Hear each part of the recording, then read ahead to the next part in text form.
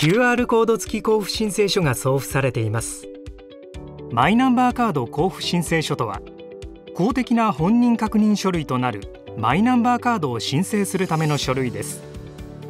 記載している QR コードをお持ちのスマートフォンで読み取っていただくことで申請ページへ簡単にアクセスすることができます。この動画はスマートフォンを使用したオンライン申請の方法について解説します。パソコン郵便などによる申請方法はマイナンバーカード総合サイトをご確認ください。マイナンバーカードをお持ちでない方へ QR コード付き交付申請書が送付されています。お手元に届いたら中身を確認してください。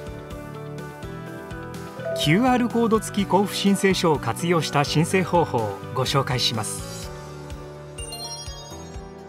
申請ページへの接続方法についてご説明します。マイナンバーカードは交付申請書に記載された QR コードを読み取ることで申請を行います。Android 端末 iPhone 端末のカメラ機能で QR コードを読み取ってください。Android 端末で読み取れない場合は Google のプレイストアから Google レンズをダウンロードしお使いください。交付申請書の QR コードを読み取り申請ページへ接続します。Android のカメラ機能を起動させます。お使いのスマートフォンのカメラアプリをタップしてください。交付申請書に記載された QR コードにカメラをかざすと申請ページのアドレスが表示されます。アドレスをタップして申請ページに接続します。申請ページの指示に従って申請を進めてください。続いて iPhone でのカメラ機能を使った申請ページへの接続方法についてご説明します。iPhone のカメラ機能を起動させます。iPhone のカメラ機能をタップしてください。交付申請書に記載された QR コードを読み取り表示された接続先アドレスをタップしてください。次に申請ページでの入力方法についてご説明します。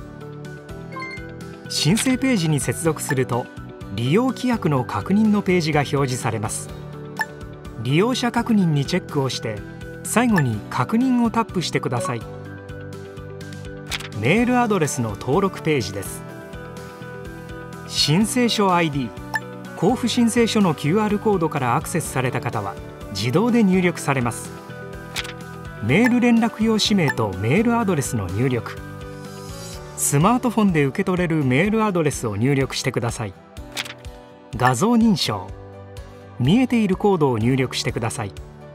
入力し終えたら確認をタップしてください。登録したメールアドレスにメールが届きます。届いたメールに記載された URL をタップします。続いて顔写真の登録方法についてご説明します。顔写真登録のページが開かれたらこちらをタップすると適正な写真の説明がありますので確認してください。アップロードをタップし撮影した写真を選択し確認をタップしてください。顔写真登録確認のページです。アップロードされた写真が正しいか確認しましょう。確認事項をチェックし登録をタップしてください。申請情報の登録方法についてご説明します。